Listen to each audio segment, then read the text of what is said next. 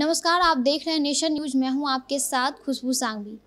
2021 में होने वाली मैट्रिक की परीक्षा को देखते हुए सरकार ने सभी माध्यमिक स्कूलों को निर्देश दिया है कि वो स्कूलों में फिर से पढ़ाई शुरू कर दे। इसके तहत डीटीएच कनेक्शन के द्वारा, दूरदर्शन के माध्यम से सभी जो स्टूडेंट्स है, वो पढ़ सके। आपको बता दें कि बिहार बोर्ड ने जो मैट्रिक की परीक्षा की तिथि है, वो घोषित कर दिया है। वहीं जो सेंटअप परीक्षा है वो 11 नवंबर से 17 नवंबर तक आयोजित रहेगी। इन परिस्थितियों में सरकार ने स्टूडेंट्स के लिए विशेष व्यवस्था शुरू की है ताकि जो अपने वो सिलेबस को कंप्लीट कर सके। इसके तहत सभी माध्यमिक स्कूलों में डीटीएच कनेक्शन लगवाया जाएगा ताकि बच्चे दूरदर्शन के माध्यम से आ, स्कूल में पढ़ सके और अपने जो सिलेबस है वो कंप्लीट कर सके।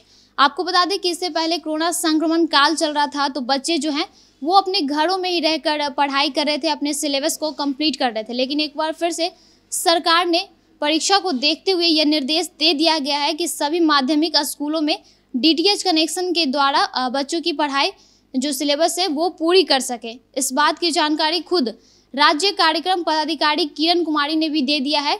कि सरकार की तरफ़ से निर्देश दिया गया है कि सभी स्कूलों में, जो माध्यमिक स्कूल है, वहाँ डीटीएच कनेक्शन लगवाकर दूरदर्शन के माध्यम से बच्चों को पढ़ाया जाए। साथ ही साथ स्कूलों को भी यह निर्देश दिया गया है कि वो ज़्यादा से ज़्यादा बच्चों को स्कूल में लाने की व्यवस्था करें।